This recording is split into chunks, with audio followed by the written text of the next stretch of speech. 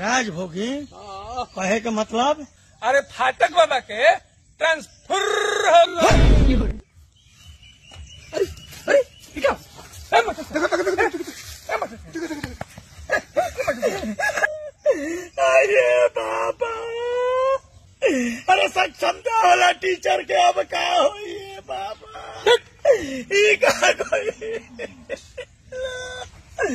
अरे हमनी के छुट्टिया अब के काटी है बाबा पर्व त्योहार में जाते रही जा ड्यूटी आए बाबा। अब हमनी के कैसे समय पे महीनवा मिली है बाबा। आइए बाबा। चुप रहा चुप रहा। चुप रहा चुप रहा। बुझा गई ना रहले में चैन बा ना कोई ले